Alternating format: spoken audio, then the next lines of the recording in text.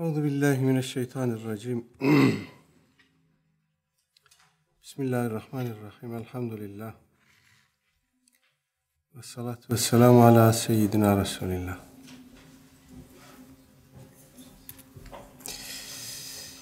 Mişkatül Mesabih'in Kitab-ı Tahare bahsinin 3. babındaki 367 numaralı hadisle devam ediyoruz. Bugün inşallah bu babı bitireceğiz. Bir e, 4-5 kadar hadis var.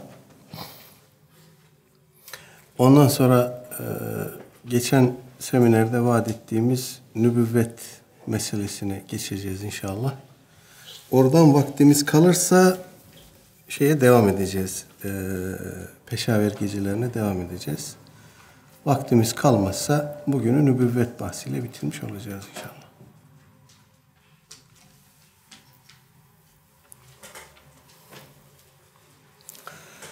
وعن سلمان رضي الله عنه قال قال بعض المشركين وهو يستهزئ إني لأرى صاحبكم يعلمكم حتى الخراءة.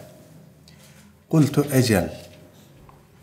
أمرنا ألا نستقبل القبلة ولا نستنجي بأيماننا ولا نكتفي بدون ثلاثة أحجار ليس فيها رجيع ولا عزم. Ravahu Muslimun ve Ahmedu ve lafzu lehu. İmam Müslim ve İmam Ahmet rahimehumallah nakletmişler. Lafız İmam Ahmet'e ait. Selman Selman-ı Farisi radıyallahu anh diyor ki Kale ba'dul müşrikine ve hu yestehzi'u Bir takım müşrikler, müşriklerden birisi eee alay maksadıyla dalga geçmek için şöyle dedi. İnni le era sahibekum görüyorum ki arkadaşınız Efendimiz Aleyhisselatü Vesselam'ı kastederek arkadaşınız yuallimukum size öğretmenlik yapıyor, öğretiyor. Hatta el hiraete tuvalette nasıl oturacağınızı, tuvaletini nasıl yapacağınızı bile size öğretiyor. Yani çocuk musunuz, bebek misiniz? Arkadaşınız size ta buraya varana kadar ne yapmanız gerektiğini öğretiyor diye dalga geçti. Kultu ben de ona dedim ki ecel. Evet öyle. Emerena ella nestekbilel kıblete o bize defi hacet yaparken kıbleye yönelmememizi emretti. Ve la nestenciye bi eymanina sağ ellerimizle istinca yapmamamızı emretti. La nektefiye biduni selâseti ahcarin üç taştan daha azıyla yetinmememizi istinca yaparken, temizlenirken üç taştan daha azıyla yetinmememizi emretti. Leyse fiha reci'un ve la azmun bu üç taş e, yerine kemik ya da tezek hayvan dışkısı olmayacak. Yani aralarında kemik ya da hayvan dışkısının olmadığı üç taş bundan azıyla yetinmememizi emretti diyor.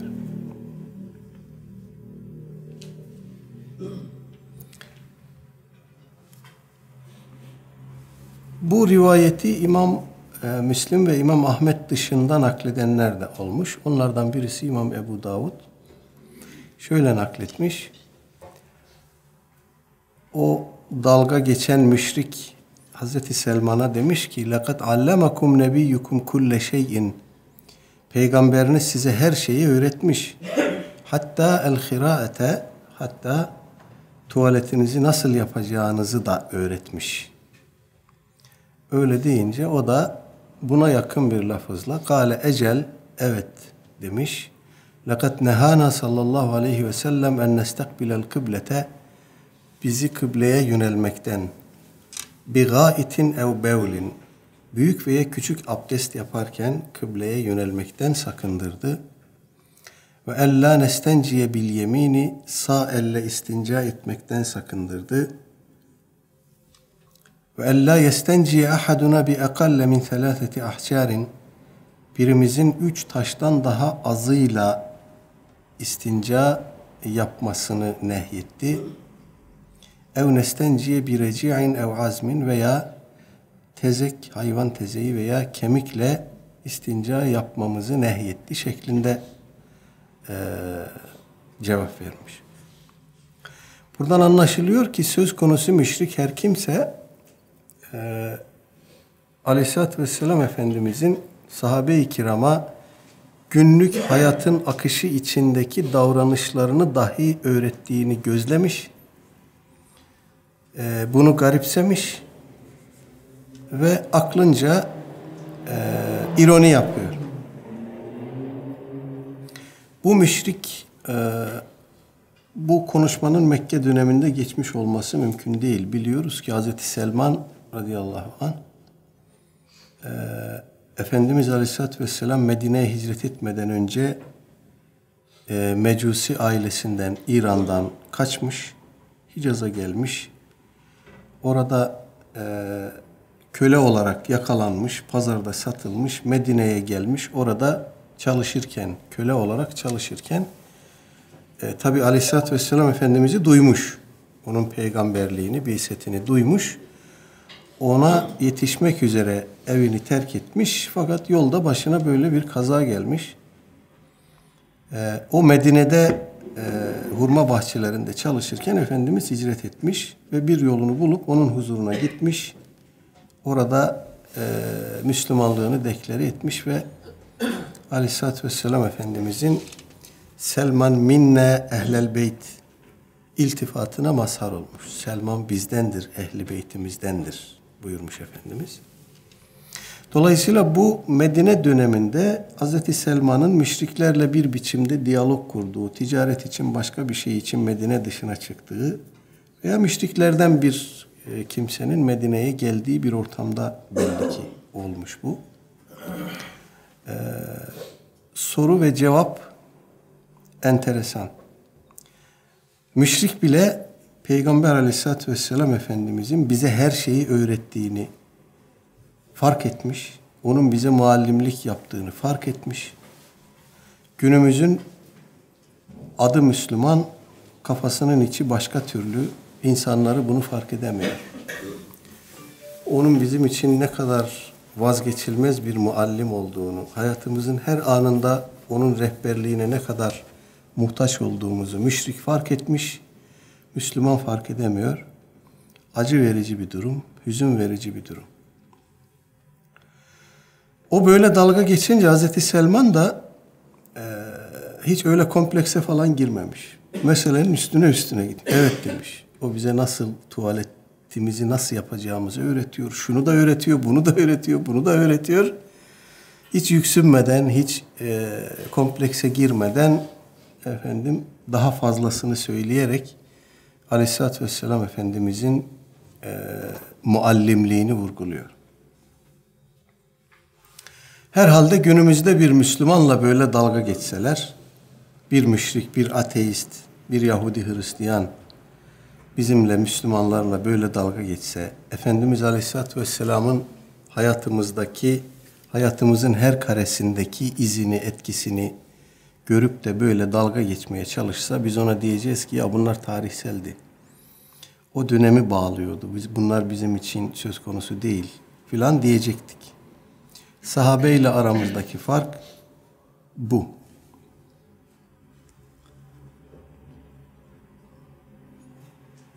Evet. 368 numaralı hadis.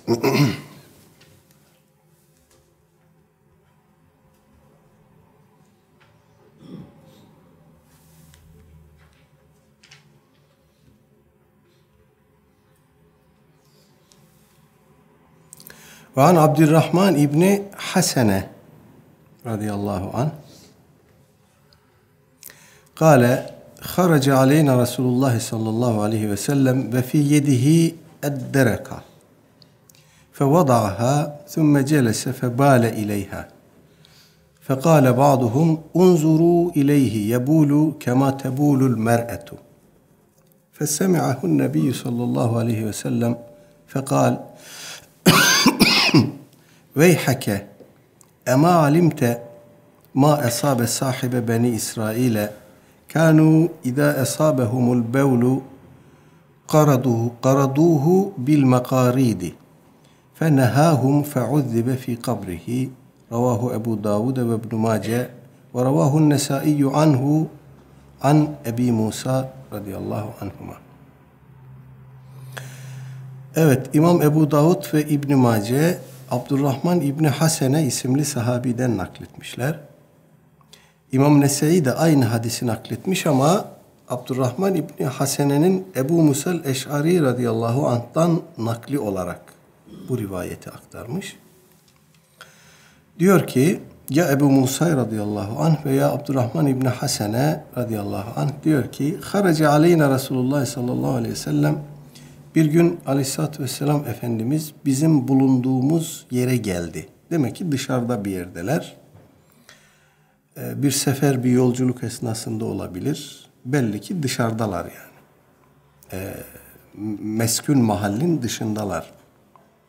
Ve fi yedihi eddereka Aleyhisselatü Vesselam Efendimizin elinde kalın deriden yapılma bir e, kalkan, büyükçe bir kalkan varmış. Fevada'aha onu yere koymuş. Sümme celese febale ileyha. Sonra çökmüş Efendimiz, oturmuş.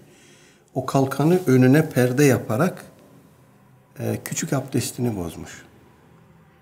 Tabi bunu onların yanında yapmamış. Gidip de onların huzurunda önünde bunu yapmamış. Bulunduğu yerden ayrılıp o sahabe-i kiramın görebileceği bir yere gitmiş demek ki. Orada bunu yapınca fekale ba'duhum orada bulunanlardan birisi demiş ki unzuru ileyhi bakın yebulu kema tebulul mer'e tıpkı kadının bevlettiği gibi bevlediyor. Küçük abdestini bozarken kadın gibi oturuyor yani. Fesemi'ahu Nebi sallallahu aleyhi ve sellem Efendimiz aleyhissalatü vesselam bunu duyuyor. Fekale ve buyuruyor ki Veyhake sana yazıklar olsun. Ema alimte ma esabe sahibe beni İsrail. İsrail oğullarının bir yöneticisi, bir idarecisi varmış. Ee, onun başına geleni işitmedin mi, duymadın mı, bilmedin mi, ondan haberdar olmadın mı? Kanu iza esabehumul bevlu İsrailoğulları Hz. Musa aleyhisselam şeriatı üzere yaşarken e, küçük abdest bozdukları zaman eğer elbiselerine isabet ederse, elbiselerine sıçrarsa karaduhu bil makarit makasla o sıçrayan yeri keserlerdi elbiseden o bevil sıçrayan yeri kesip atarlardı. Fenehahum işte o idareci onları bunu yapmaktan nehyetti, sakındırdı. Bunu yasa bunu yapmalarını yasakladı. Feuddibe fi kabrihi ve bu sebeple kabrinde azap gördü. Kabir azabına muhatap oldu.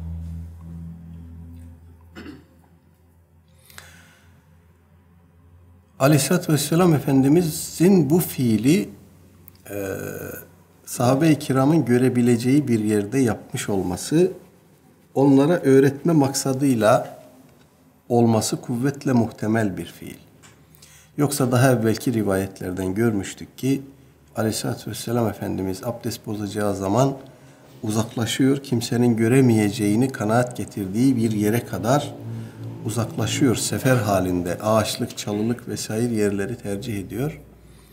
Burada demek ki e, ya böyle bir ağaçlık, çalılık sütre edinebileceği, ardına gizlenebileceği bir tabii engel yok.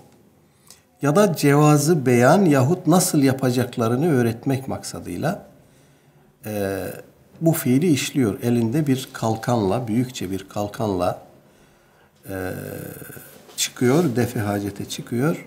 Kalkanı yere e, sabitliyor, tespit ediyor ve arkasına geçip e, oturarak defi hacet yapıyor. Bütün bunları sahabe-i kiramın gördüğü açık. O da şüphesiz bunun farkındadır. Nasıl farkındadır?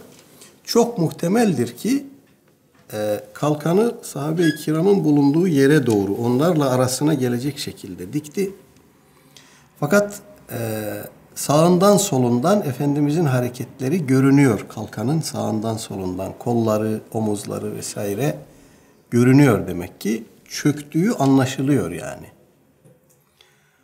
Bunun üzerine birisi bakın ona diyor. Kadının bevlettiği gibi bevle diyor. Bu birisi kim olabilir? Şarihler bunun sahabe-i kiram arasında bulunan bir münafık olabileceğini söylüyor. Yahut böyle söylemek gerekmez diyenler de var. Yeni Müslüman olmuş, henüz Aleyhisselatü Vesselam Efendimizle olan hukukunu, münasebetini, ona karşı gösterilmesi gereken edebi ayarlayamayan, bunu bilemeyen yeni Müslüman olmuş birisi olabilir diyorlar ki bu ikinci ihtimal akla daha yatkın görünüyor. Evet, o böyle söyleyince Aleyhisselatü Vesselam Efendimiz bunu duyuyor, işitiyor ve e, azarlamıyor. Bu veyhak tabiri bir de buna benzer veylek var. Bu e, teedip maksatlı bir edat. Yani ilenç değil, kargış değil, azarlama değil, dostça bir teedip ifade eden bir edat. Veyhak. İşte bazı ifadelerde sekilet ke ummuk derler mesela Araplar. Anan seni kaybetsin. Bu da o tarz bir e, tedip ve ikaz edatı. Bu edatı kullandıktan sonra Efendimiz e, gene orada öğretmenlik vasfını ortaya koyuyor. Onu azarlamıyor.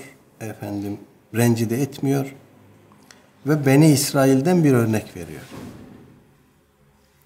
Demek ki buradan şunu da anlayabiliriz Allahu alem.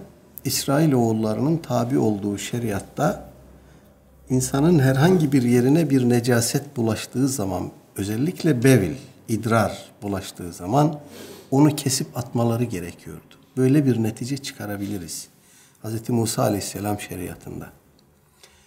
E bu ağır bir e, hüküm. Yani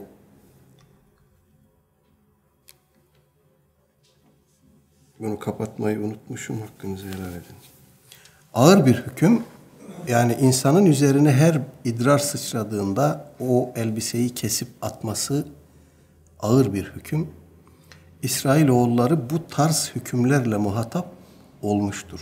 Onun için biz Amener Resulü okurken Rabbena ve la tahmil aleyna isran kema hameltehu alellezine min kablina diyoruz. Bunu da bize Cenab-ı Hak öğretiyor. Rabbimiz bizden evvelkilere yüklediğin gibi ağır yük bize de yükleme. Onun için gene e, Miraç'ta Hz. Musa Aleyhisselam Efendimiz'e 50 vakit namazı e, ümmetine ağır gelir. Dön Rabbine niyazda bulun, ilticada bulun. Bu 50 vakti biraz indirsin, azaltsın diye uyarıda bulunuyor. Hz. Musa'nın başından bunlar geçmiş. Biliyor. Ee, dolayısıyla Efendimiz'e böyle bir kardeşçe e, uyarıda bulunuyor. Cenab-ı Hak ikisinin de şefaatine bizleri nail eylesin.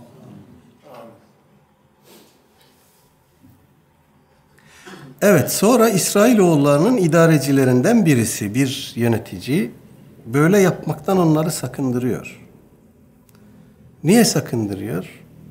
İşte muhtemeldir ki günümüz modernistlerinin, tarihselcilerinin bakış açısıyla, mantığıyla onları sakındırıyor. Ya bırakın bu işleri diyor. Bunların vakti geçti artık. Bunların zamanı değil. Efendim elbisenize yazık etmeyin. Sizden öncekilerin aklı biraz kıttı, biraz az gelişmişti onlar. Affedersiniz idrar yapmayı bilmiyorlardı. Üstlerine başlarına sıçratıyorlardı. Onun için böyle bir ağır hükümle muhatap oldular. Siz geliştiniz, ilerlediniz, beyniniz büyüdü, e, bilginiz arttı, sizin böyle yapmanız gerekmez gibi bir yaklaşımla muhtemelen bu hükmü onlara terk ettirdi, unutturdu. Ve kabir azabına düçar oldu, muhatap oldu.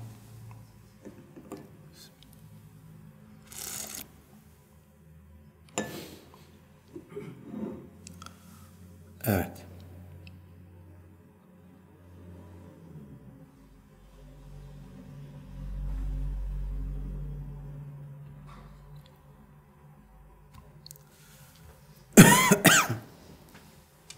Burada Aleyhisselatü Vesselam Efendimiz'e bildirildiği kadarıyla onun gaybi meselelere muttali olabileceğini de görüyoruz. Bu bilgi hiç şüphesiz ona gayrimetlu vahiy ile bildirilmişti. O da bu bilgiyi ümmetine e, iletti.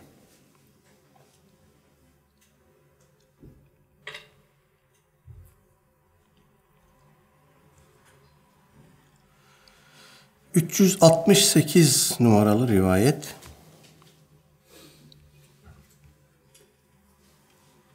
Ve an Abdurrahman, ha bunu okuduk. 369 düzeltiyorum. 369. Ve an Mervan el-Asfari kâle Ra'aytu ibn Ömer Ra'aytu ibn Ömer radıyallahu anhuma أناخ راحلته مستقبل القبلة ثم جلس يبول إليها فقلت يا أبا عبد الرحمن أليس قد نهي عن هذا قال بل إنما نهي عن ذلك في الفضاء فإذا كان بينك وبين القبلة شيء يسترك فلا بأس رواه أبو داود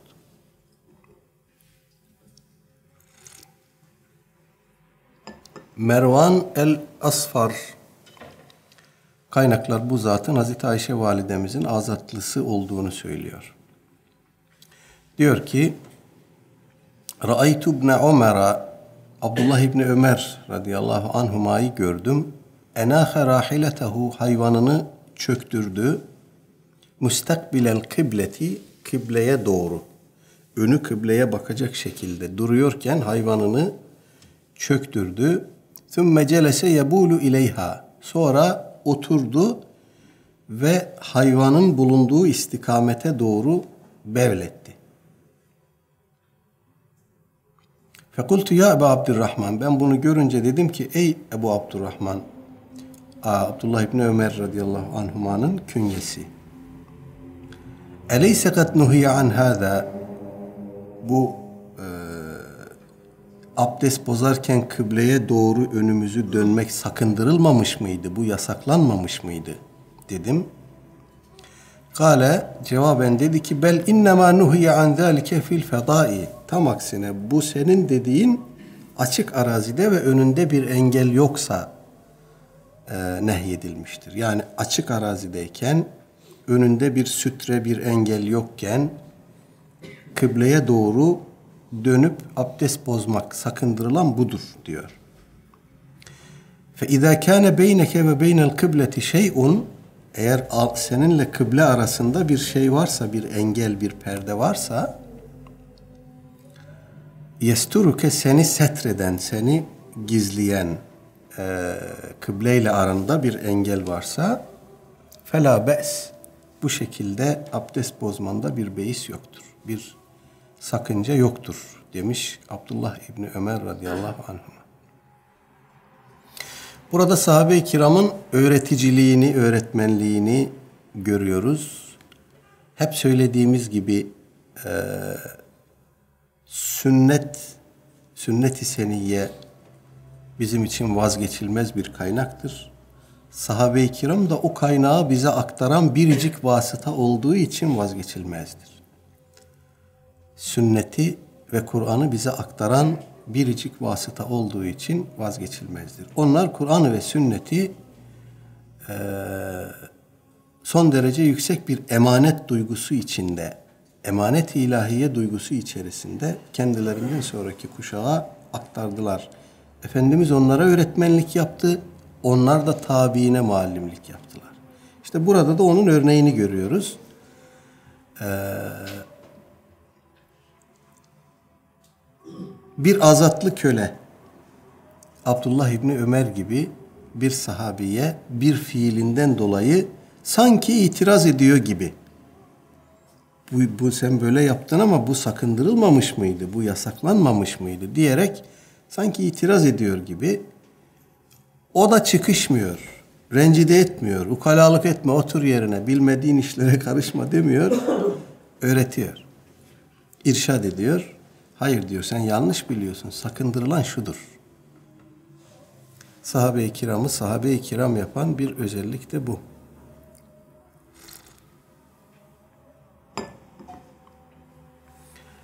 Ee, ve açıklıyor meseleyi. Yani o senin bildiğin açık arazide olandır ama önünde bir sütre olursa, bir engel olursa veya kapalı bir mekanda olursan bunun bir sakıncası yoktur diyor. Açıklıyor ona, hükmü öğretiyor. Sahabe-i kiram gibi bir öğretmeni olmak da ayrı bir mazhariyet. Tabiini tabiin yapan da işte bu. Evet, Cenab-ı Hak onların şefaatine bizi nail eylesin. 370 numaralı rivayet. Bunu daha önce görmüştük. Ve an Enes'in radıyallahu anhu kal كان النبي صلى الله عليه وسلم إذا خرج من الخلاء قال الحمد لله الحمد لله الذي أذهب عني الأذى وعافاني رواه ابن ماجه İbn Mace rahimehullah Enes radıyallahu anh'tan naklediyor. Hazreti Enes diyor ki Nebi sallallahu aleyhi ve sellem heladan çıktığında defi hacetten çık, yaptıktan sonra çıkınca şöyle derdi. Elhamdülillahi elhamdülillahillezî ezhebe annil eda ve afani. Benden eziyeti gideren ve bana afiyet veren Allah'a hamdolsun. Veya hamd benden eziyeti gideren ve bana afiyet veren Allah Teala'ya mahsustur. Evet, tuvaletten çıkarken de bir dua okunuyor. Ee, daha evvel de söylemiştim ben bu. Hayatın her anı bizim için dua. Evden çıkıyoruz, dua, arabaya biniyoruz, dua, eve giriyoruz, dua, mescide giriyoruz, dua, tuvaletten çıkıyoruz, dua, abdest alıyoruz, dua, Hayatımızın her anı dua. Ee, Kul ma ya'ba'u bikum rabbi levla duaukum. Eğer duanız olmasaydı Rabbim size ne diye değer versin ki? Bu insanın e, böyle mekanik bir şekilde bir iş yaptım ardından şunu yapacağım, bir iş yapınca arkasından bunu yapacağım diye ezberleyip yaptığı bir şey değil bu mekanikleşmeye hayatımızda e, yer vermemeliyiz. Bu bir hepimiz için bir handikaptır. Sık yaptığımız şeyleri, sık tekrarladığımız şeyleri bir süre sonra mekanikleşir, mekanik hale getiririz. Aklımız, niyetimiz, kalbimiz hazır bulunmadan dilimiz onu söyleyiverir veya azalarımız yapıverir. Ee, bu kontrolsüzlüğümüzü gösterir sık sık niyetimizi, kalbimizi kontrol edip öyle mi oldu yoksa e, yaptığımız işin şuurunda mıyız? Onu niyetle mi yapıyoruz? Buna dikkat etmek lazım.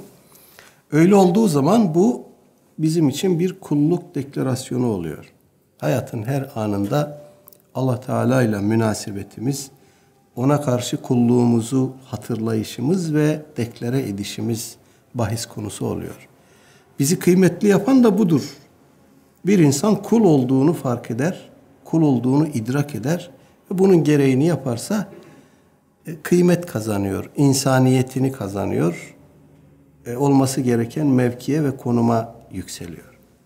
Yoksa tuğyan ettiğinde, azdığında, saptığında, özgürlük, bağımsızlık talep ettiğinde bütün bunlar karşısında evamir ilahiye ve nevahi ilahiye karşısında bağımsızlık, özgürlük, ben daha iyisini bilirim tavrı. İşte bu iblise mahsus bir şeytaniyet. İblis böyle saptı biliyorsunuz. Ben daha iyisini bilirim. Aslında şöyle olmalıydı. Ee, modern insana arız olan en büyük tehlike, buralarda yer var arkadaşlar. Burada da yer var.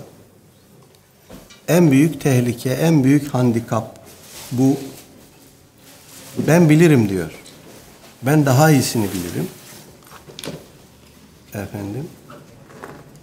Bunlar eskilerin masallarıydı. Esatirül evvelin. Onlar az gelişmiş insanlardı. Az gelişmiş nesillerdi. Böyle yapıyorlardı ama ben artık bugün bunu yapmak zorunda değilim. E, o Allah Teala karşısındaki tuğyanın insanın haddini aşmasının ifadesi. Biz hayatımızın her karesinde, her anında duayı dilimize pelesenk ederek kulluğumuzu hatırlıyoruz ve deklare ediyoruz. Ee, burada da onun enteresan bir örneği söz konusu. Tuvaletten çıkıyoruz. Cenab-ı Hak bizden bir sıkıntıyı giderdi, bir eziyeti giderdi. Efendim, e, pislikten, pis şeylerden ona sığındık, ona hamd ettik.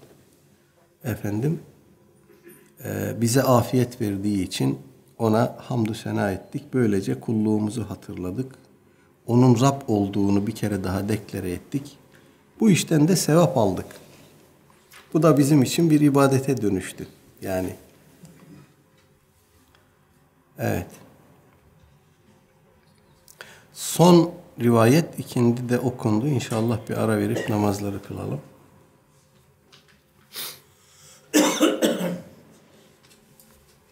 وعن ابن مسعود رضي الله عنه قال لما قدم وفد الجن على النبي صلى الله عليه وسلم قالوا يا رسول الله إنه e, düzeltiyorum. قالوا يا رسول الله إنها أمتك en yestencu bi azmin ev veresetin ev humemetin fe innallâhe ceale lena fîhâ rızkan fe nehâna Resulullah sallallahu aleyhi ve sellem an dâlik ravahu Ebu Davud. İmam Ebu Davud rahimehullah Abdullah İbni Mesud radıyallahu anh'tan nakletmiş. Diyor ki Lemma kadime veftul cinni alen nebi sallallahu aleyhi ve sellem cinlerden bir heyet malum meşhur hadisede aleyhissalatü vesselam Efendimiz'e geldiklerinde kalu ona şöyle dediler Ya Resulallah inhe ümmeteke en yestencu bi azmin ev veresetin ev humametin ev revsetin ev humametin Ey Allah'ın Resulü ümmetini e, kemikle tezekle veya kömürle istinca yapmaktan sakındır Onları bundan men et. فَاِنَّ اللّٰهَ جَعَلَ لَنَا ف۪يهَا رِزْقًا Zira Cenab-ı Hak bu saydığımız şeylerde bize rızık kıldı. Bunları bize rızık olarak tayin ve takdir buyurdu. فَنَهَانَ Resulullah sallallahu aleyhi ve sellem an dalik. Bunun üzerine aleyhissalatü vesselam Efendimiz bizi bundan sakındırdı.